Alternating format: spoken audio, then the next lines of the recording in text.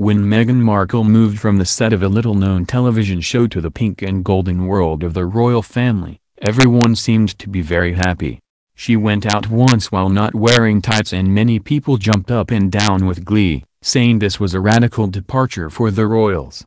Then she turned up at a party wearing burgundy nail polish, and everyone who noticed immediately fainted with joy. Yes, they squeaked. She is someone the royal family needs, a black, American, Roman Catholic divorcee with bare legs, racy fingernails and healthy views on feminism. There was even a suggestion that if you looked carefully on the internet, you could find a picture of her wearing no top. Brilliant. But then, after about seven minutes, everyone suddenly decided she's actually a witch. First came news she complained about the smell on the church where she was married, and that she'd gone out in public with a price tag still attached to her frock, and that she was bossing Prince Harry about and having arguments with her sister-in-law. When a couple of members of her staff announced they were leaving, Everyone knew for sure this was because she is a terrible woman who sits in her kitchen every night hitting puppies over the head with a shovel. And all the time, we had her ridiculous father cropping up on every TV show to say he loves her and is so sad he wasn't at the wedding and even more unhappy that she never responds to his texts.